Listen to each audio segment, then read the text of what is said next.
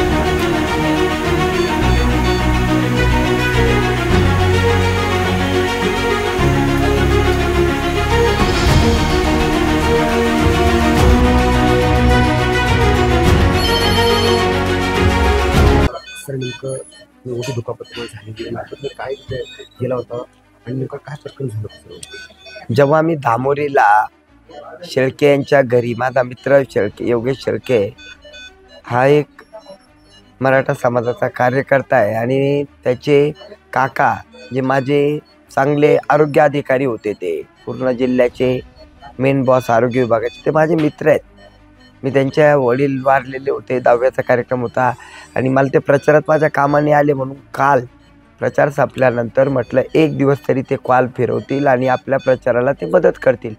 म्हणून मी त्यांच्याकडे गेलो आमची चर्चा झाली निघालो. पुढील दोन गावं करता करता म्हटलं लांजीचा माझा मित्र होता सातपुते त्यालाही सोडू आणि त्या मार्गाने येऊ. मला दोन तीन जणांनी थांबवलं मला मला वाटलं आहे आणि मग गाडीवरती दगडफेक झाली. ही नीच मत्ता नीच दर्जाची त्या ठिकाणी ही घटना आहे. सर नेमकं त्या ठिकाणी तुम्ही गावोगाव प्रचार करताय. नेमकं कोणाकडून शिक असेल तुम्हाला? पक्षाचे कार्यकर्ते त्या पक्षाचे असतील. कोणाच तरी असतील ना ते? काय माहिती का? या माणसाच्या पायाखालची जमीन सरकली. कशाबाबच्या जमीन सरकल्यामुळे त्यांनी काय केलं की आता कुठे ना कुठे एक वेगळा मार्ग काढायचा. आता हे गावागावात पैसे वाढतायत. माझ्यावरती अटॅक करण्यामागे मला वाटतं षडयंत्र यायचं की मला कुठेतरी गावातून दूर ठेवायचं माझे सगळे कार्यकर्ते बाहेर काढायचे. आज तुम्ही बघता हॉस्पिटलच्या बाहेर एवढी गर्दी झाली मी लोकांना सांगतोय माझा कार्यकर्ता तुम्ही घरी राहा. यांचा उद्देश साध्य होऊ देऊ नका. कारण यांना गावात आपण नको आहे आपण जेव्हा सत्य बोलतोय ते त्यांना टोचतंय. म्हणून हल्ला करून शब्द दाबण्याचा प्रयत्न आहे. आपण जर पाहिलं आपण जर महाराष्ट्रात देखील आधी भाजपबद्दल पाहिलं तर अनिल देशमुख यांनी सुद्धा माजी गृहमंत्री त्यांनी सुद्धा आरोप केला भाजपवर तुम्ही सुद्धा भाजपवरच आरोप करताय. हिंगोली सुद्धा अशीच घटना घडली सर. मला आरोप करण्यापेक्षा मला एक कळतं की नीतिमत्ता संपली आहे.